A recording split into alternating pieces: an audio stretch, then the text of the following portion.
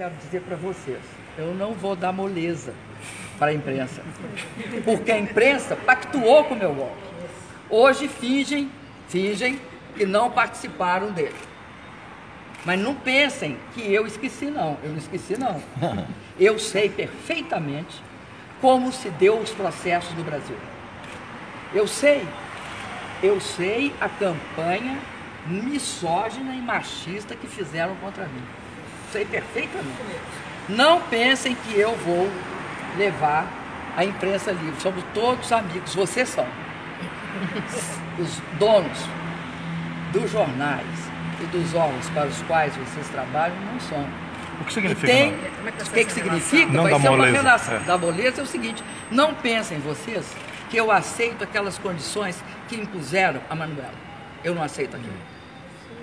Não aceito aquilo e não admito que aquilo seja chamado de imprensa livre num país decente como o nosso.